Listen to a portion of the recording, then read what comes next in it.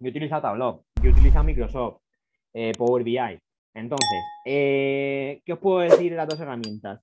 Lo primero, son muy parecidas. O sea, en cuanto a capacitación, yo os diría que incluso es más potente Tableau porque tiene más ayuda, te ayuda más a, la hora de realizar hasta métricas, KPIs, etcétera. Entonces, en ese, en ese aspecto, en, en, autocapacitación, es más potente Tableau.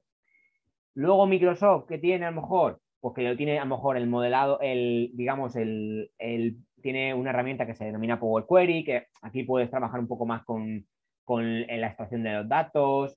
Bueno, un poco toquetear un poco más el dato, que también lo tiene Tableau, que es Tableau Prep, ¿vale? Que ya lo veremos ahora más adelante, que es el, los diferentes productos de Tableau, ¿vale? Pero sí que es verdad que a lo mejor quizá aquí gana un poco más eh, Power BI, ¿vale? Pero la forma visual creo que yo, sinceramente, creo que gana Tableau, porque los gráficos, yo sinceramente, obviamente luego, si hay las compras con otras herramientas, puede ser que sean más potentes visualmente, pero en cuanto a autocapitalización y visual, Tableau está muy por arriba de, está eh, como, como veis aquí en el top, ¿no?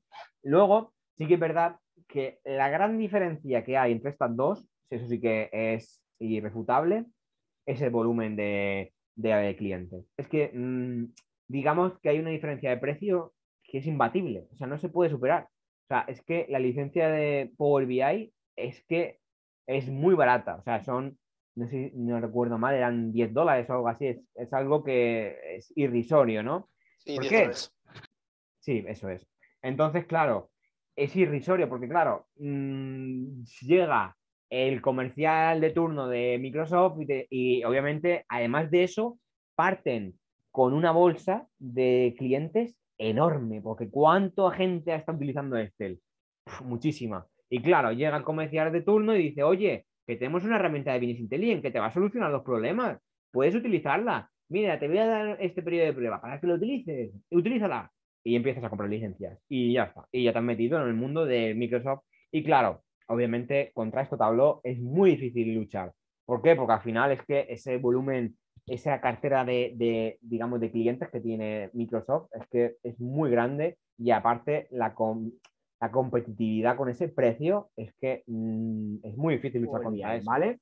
Bueno, aquí, eh, ¿qué es lo que difiere, no? Como veis, la creatividad, ¿veis? Lo que os decía, más creatividad en Tableau, ¿vale? Y siempre, digamos, como Power BI estaba limitado un poco en esto, ¿no? ¿Vale? Luego, eh, Tableau, como decía, eh, permite un poco creatividad, ¿vale? y, lo que, y aparte de creatividad, permite exploración del dato, ¿vale? descubrir señales.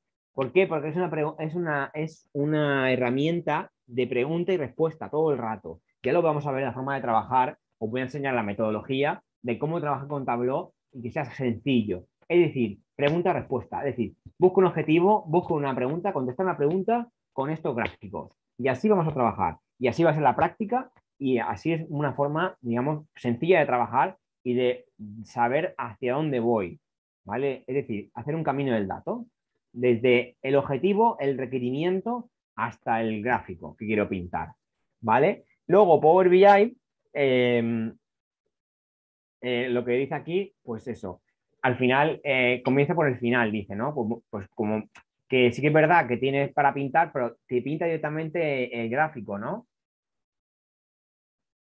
y no tienes esa posibilidad de explorar el dato, etc. Entonces, digamos que eso sí que es verdad que yo creo que Tableau le, gana un poco más, ¿no? Luego, eh, aquí en Tableau Calculation, ¿no? Aquí habla, bueno, aquí lo que dice que son eh, los, cálculos en Tableau, pues eso, pueden ser complejos, como os decía, ¿no? La sintaxis puede ser complejo, ¿por qué? Porque obviamente los cálculos sencillos son fáciles, eh, lo que decía, fórmulas de Excel y demás, son difíciles de...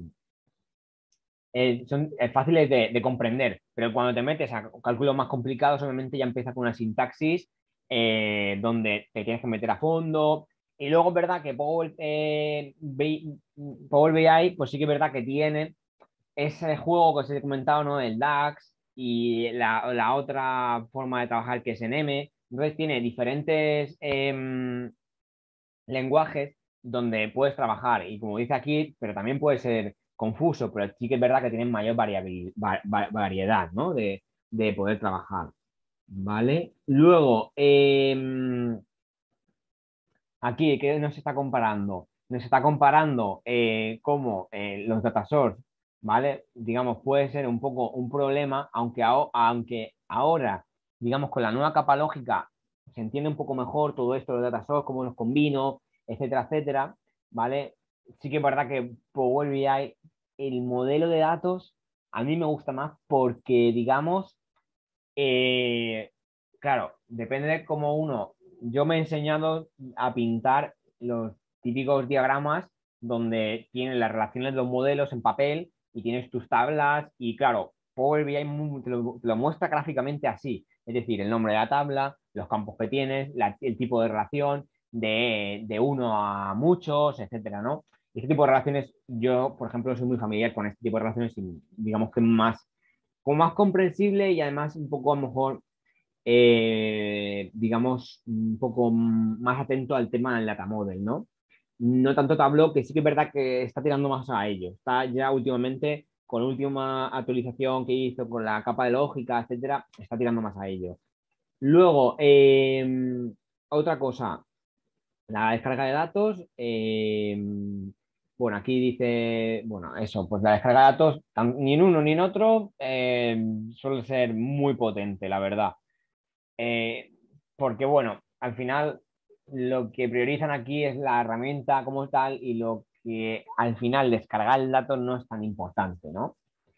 Luego, en la parte visual, aquí dicen, bueno, mm, Dicen que la parte de, de, Power BI es eh, más potente en cuanto a que, que muchas veces sí que es verdad que pasa que tú ves una cosa en Tableau, en tu desktop, y luego cuando lo publicas, eh, no está igual, a lo mejor aparece un scroll, como dice aquí, ¿no?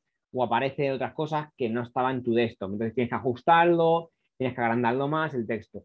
Y sí que es verdad que Power BI, lo que tienes en tu desktop, lo que publicas en la herramienta online que tiene el usuario final, sí que es lo que es, ¿no?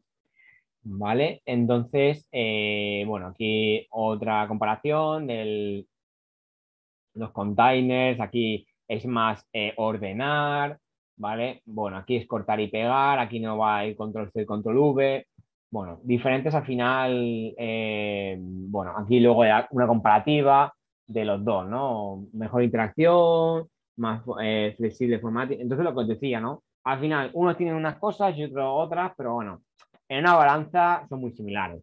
Lo único que os decía es eso, que al final lo que tiene Power BI es el, el nicho de mercado que lo tiene muy amplio. Esa es la, digamos, yo para mí la, la gran...